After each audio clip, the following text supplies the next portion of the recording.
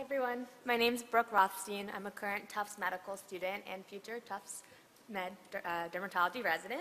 I'm presenting today the results of an investigator-initiated proof-of-concept study performed at Tufts Medical Center, thank you, in the Department of Dermatology. The study was conducted from January to August 2016 with Dr. David Rosmarin serving as the principal investigator. I have no conflicts of interest to disclose. So we performed an open-label clinical trial evaluating twice-daily use of topical ruxolitinib 1.5% cream in 12 patients with vitiligo over 20 weeks. The topical formulation was chosen given that vitiligo pathology is superficial in nature, and the topical application was presumed to limit side effects known with systemic use. We screened 12 patients, 11 were enrolled, and 9 completed the study. Repigmentation was measured using the Vitiligo Area Scoring Index, or VASI tool.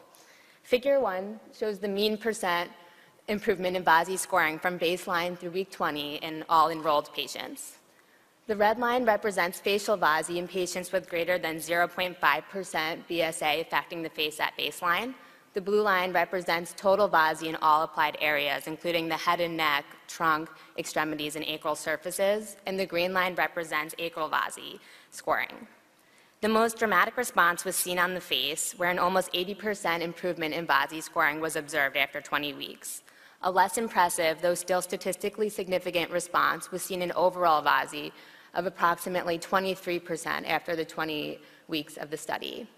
There was only a slight response on acral surfaces in one patient um, that occurred at 20 weeks. And this is consistent with other existing therapies for vitiligo, which are more effective on the face and less effective on acral surfaces. Figure 2 shows the photographic improvement in subjects with greater than 0.5% BSA facial vitiligo, which was four study, patients in our study at baseline. Subject 5 had complete depigmentation at the start of the study um, on the lower half of her face, and by week 20, she had almost completely repigmented. Subject 11 similarly had 90% depigmentation on the lower half of his face, and he had actually failed a clinical trial of abatacept for vitiligo prior to starting our study. He had some speckled repigmentation at week 8, and by week 20 had um, almost uh, significant and almost complete repigmentation on the lower half of his cheeks. Subject three was our first subject to respond. Uh, he showed response at approximately four weeks. You can see here at week eight, he has some erythema on his neck, and this was a common adverse event experienced in many of our patients. You can also see a, hyperpigmented rim surrounding the patch on his, vitiligo on his right cheek, Nine of our patients experienced this adverse event, but we believe that it may serve as a signal for impending response.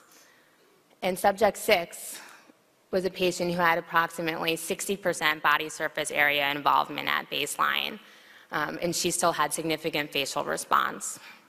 So most of these patients had long-term histories of vitiligo ranging from 3 to 18 years and had failed other standard and experimental therapies for vitiligo but responded to topical ruxolitinib twice daily treatment.